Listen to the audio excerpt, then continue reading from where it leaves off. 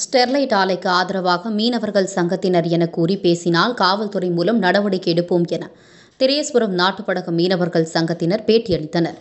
தூத்துக்குடி திரேஸ்வரம் நாட்டுப்படகு மீனவர் சங்கத்தின் தலைவர் ராஜ் தலைமையில் செயலாளர் ராபர்ட் செய்தியாளர்களை சந்தித்து பேசினார்.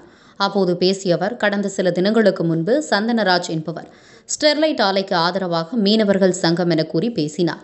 அவருக்கும் மீனவர் சங்கத்திற்கும் எந்த சம்பந்தமும் கிடையாது. சந்தனராஜ் என்பவர் அளித்த பேட்டியில் மீனவர்கள் படிப்பறிவு இல்லாதவர்கள் என கூறினார். மீனவர்கள் சமுதாயத்தில் படித்தவர்கள் அதிகம் பேர் உள்ளனர். இதுபோன்ற செயல்களில் ஈடுபட வேண்டாம் என கேட்டுக்கொண்டார். இதுபோல் மீனவர்கள் என்ற பெயரில் ஸ்டெர்லைட் ஆலைக்கு ஆதரவாக பேசும் மீனவர்களை காவல்துறை மூலம் நடவடிக்கைகள் எடுப்போம் என திரேஸ்புரம் நாட்டுப்படகு மீனவர் சங்க செயலாளர் ராபர்ட் தெரிவித்தார்.